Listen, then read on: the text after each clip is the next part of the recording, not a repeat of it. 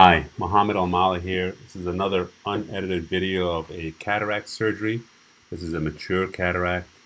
This patient has already had uh, the eye prepped and draped. We have Steri-Strips holding back the lashes.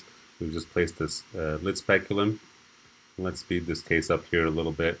So we can see it's a white mature cataract. It does look, the capsule, the capsule does look fairly tense here. And so we're going to use a 25 gauge needle to decompress the capsule. Here we're making the paracentesis. We're doing preservative-free lidocaine. You can see the patient's moving around quite a bit during the surgery. Uh, I'm going to use Trypan blue here. I'm just going to wait for the uh, nurse to hand that over. Uh, but looking at the capsule, it's important to recognize that not all white cataracts are the same. Some are going to be some capsules are going to be more fibrotic. Uh, this one looks like the cortex is quite liquefied and maybe under tension. And so there's going to be increased risk for getting an Argentinian flag sign. So we want to be very careful here with a capsulorhexis. That's the air bubble going in, and this is the blue dye. And then I like to go ahead and put in the viscoat uh, directly, and we use that. That looks like some more topical anesthetic there, perhaps tetracaine. And I'm going to use Viscoat here to remove the air bubble from the anterior chamber. I'm going to use my 0.12 forceps to stabilize the globe. And then I'm going to make my primary incision. This is a 2.4 millimeter keratome blade. I'm now going to go in with a 25 gauge needle. And I'm going to go directly through the center of the anterior capsule. And I'm going to aspirate. And that will help release any contents of the lens that may be under pressure we don't want the lens to be under pressure because that increases the risk of an anterior capsular tear or the Argentinian flag sign. And we want to avoid that if at all possible. So we're aspirating here and we've aspirated some material and now we'll go in with a cystotome and extend the anterior capsule opening. Once again, 0.12 forceps to stabilize the globe.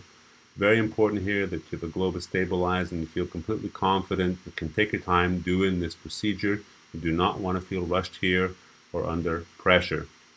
That's some more viscoat there to hyperinflate the anterior chamber and keep the anterior capsule flat. And now we're going in with the capsulorhexis forceps and we're extending and making a nice continuous curvilinear capsulorhexis. Very, very important part of the case. So that's done. We're happy with that. The cortex is liquefied. You can see the cortex is already starting to come out into the anterior chamber here. Uh, I'm just checking to see if the lens uh, spins here and seems like it does. And now I'm going to go in with phaco. So white cataracts can be, of course, quite dense, and sometimes they're not quite so dense. So here we can see that the outer edges are probably not that dense. They come out fairly readily with, uh, with phaco here. And my usual technique is to do a stop and chop. But we see here I, I make a pass and I don't really get uh, much of a crack at all. I'm having a, a hard time here kind of engaging this, this nucleus and getting it to crack the way uh, I do for my regular cases. The saving grace here is that the nucleus does look relatively small. You can see here that you can see the the red reflex there, uh, both to the in the left of the screen and also inferiorly at times. But we're going to keep here working. This is 2x speed, so I am taking some time here to kind of figure out what's going on with this lens or this nucleus.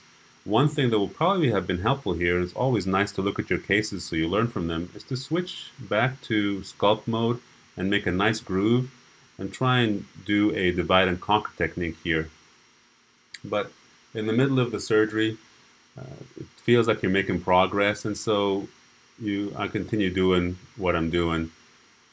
And here you can see I'm able to finally lift up the nucleus, and it does seem that this small part here, this very central nucleus, is quite dense. So I'm going to need to use some longitudinal phaco here in addition to, to torsional phaco. But we are making progress and we're able to use our second instrument here to try and chop up some of that, some of that lens.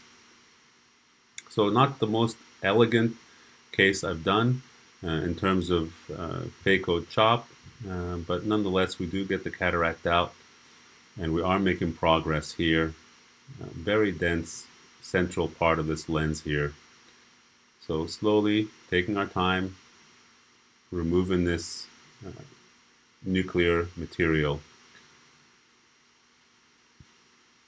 Very good. We see there is some lens material there going around in the anterior chamber. I have some remaining lens material here to the left of the screen. So done with phaco. Uh, you can see there's really not much cortex remaining. Uh, I'm going to just slow down this part here. This is a Terry squeegee silicone tip on a cannula and we're going to use that to remove any uh, central cortical material that's still attached to the posterior capsule. We want a nice clear visual axis for this patient that can have the best possible vision. Now of course here you can go in and do IA with the, with the irrigation aspiration handpiece and you can certainly do that to remove that cortex there that's in, that's in the fornix. And I will do that after I put the lens in here. So if you look at that, what I did there is I injected uh, my Provisc both to the left and to the right of the wound. And that did, I use, I do that to free up any nuclear remnants that may be present. And you can see that there was a nuclear piece there that was still present. And so I went ahead and just irrigated that out or with the viscoelastic. I didn't irrigate it, but I used the viscoelastic just to fill the anterior chamber and that came out of the wound. So IOL is already in. This is regular speed. And we are using the IA handpiece to center that, that lens and now we're going to use IA on viscoelastic mode to remove all the Provisc that's in the anterior chamber there, as much of it as possible. We can see that we've got quite a bit of cortical material here in the fornix. I'm now going to go in with my uh, with a lower uh, aspiration setting and remove that cortical material from the, the anterior capsular, from the capsular fornix. Now obviously I could have done this before I put the lens in, uh, but it's been my habit just when I don't have that much cortical material remaining to do it after the lens is already in place. That way I have the IOL to protect the posterior capsule. That's just a matter of style and what your preference here. But you will see here that I do spend a little bit of time cleaning up the uh, cortical material that's in the capsular fornix. So let me just speed this up again a little bit. Now this is 2x speed again and we're, uh, we're going and we're just removing any of those little strands that may be present.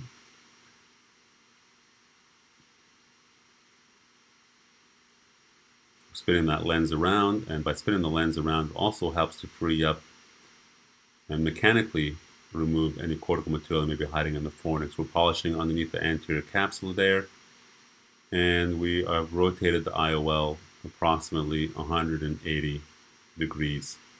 So there's some cortical material there that's bothering me. I want to get that out. But we are essentially done with the case here. We'll go back to uh, regular speed. Uh, we are irrigating the main wound and irrigating the paracentesis.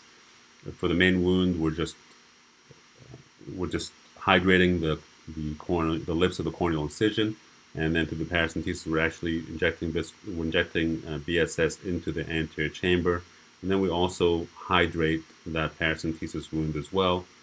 And then we check the wounds, make sure things are watertight. I blot on the cornea with my cannula tip to make sure that I like the pressure. And that is it. So thank you for watching. Uh, I hope that uh, perhaps you may have learned something from this case. It's nice to watch your, your cases and your videos.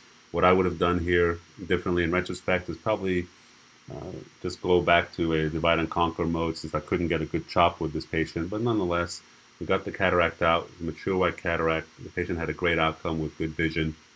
We got nice overlap there of the anterior capsule over the optic edges. Thank you for watching. Leave any comments, any questions, ways you would have done it differently. Thank you for, thank you for your attention.